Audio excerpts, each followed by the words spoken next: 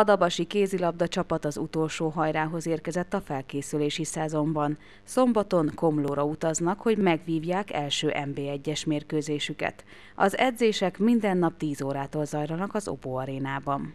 Igazán a felkészülésnek a végén vagyunk most, a utolsó simítások folynak, már ezen a héten ugye szombaton utazunk Komlóra, tehát ezen a héten már abszolút nagyon sok taktika lesz a, a, a, az edzéseken.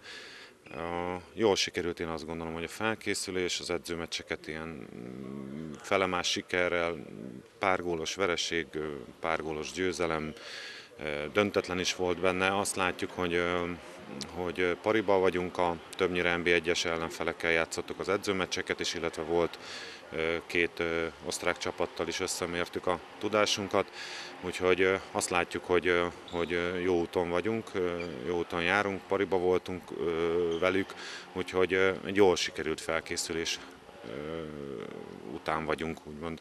A bajnokságban való feljebb jutás a szurkolói életet is megváltoztatja majd, hiszen szigorú előírásoknak kell megfelelni, és a mérkőzések látogatása is fizetőssé válik. Nagy szeretettel várunk tényleg mindenkit. A, a legfőbb változás az, amit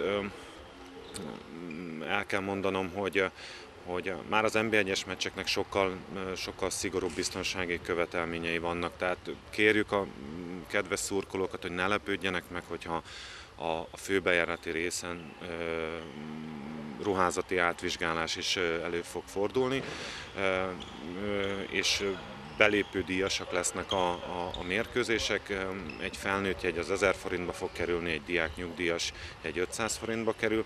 E, emellé hozzátettünk különböző ilyen bérlet lehetőségeket, vannak helyre szóló bérleteink, vannak sima bérleteink, egy sima bérlet 10 forintba kerül, tehát én azt gondolom, hogy érdemes, hiszen 10, körülbelül ilyen 18 hazai mérkőzésünk lesz a, a 2017-18-as szezonban.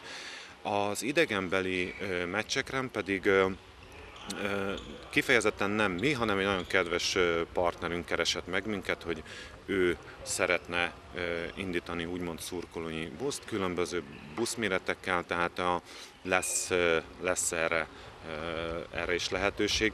Fent van már, ha jól tudom, ez is, a, ez is az oldalunkon, úgyhogy lehet tájékozódni róla. Veszünk egy picit a csapatról. Ugye nyáron voltunk nálatok a kézistáborban, mondtad, hogy nagy változások vannak. Mit lehet tudni most a csapat összetételéről, úgyhogy szombaton mérkőzés lesz? Igen, nagy változások voltak, és próbáltunk azon dolgozni, hogy minél gördülékenyebben menjen a, a játék. Én úgy gondolom, hogy, hogy jól sikerült ez a felkészülés olyan szempontból, hogy a fizikális állapotunkkal szerintem nincs probléma. A taktikai védekezés, taktikai, illetve támadás taktikai dolgokban még van hova fejlődnünk, de én szerintem előrébb járunk, mint ahogy, ahogy én gondoltam úgyhogy ez, ennek örülök. Igen, most Komlóra megyünk már a hétvégén, próbáljuk azokat a, azokat a taktikai elemeket tovább gyakorolni és finomítani, amire ott szükségünk lesz. Nyolc új játékos színesíti az eddigi csapatot, akiket MB1-es egyesületektől igazolt le a Dabasi Kézilabda Klub. Az ország minden pontjáról érkeztek új játékosok, de Tomori Győző edző szerint személyiségében és játéktudásában mindenki beleillik a Dabasi csapatba. Itt, amikor megérkeztünk, pont beszéltél a fiúkkal, mit vársz a komlói mérkőzéstől? Nyerni megyünk Komlóra. Én úgy gondolom, hogy, hogy olyan nagy különbség nincs köztünk, sőt remélem a mi javunkra fog eldőlni ez a különbség. Ez egy nagyon jó csapat, azt kell róluk tudni, régóta együtt vannak, ez, ez lehet egy, egy erényük velünk szembe, de én úgy gondolom, hogy meglephetjük őket otthon az első mérkőzésen.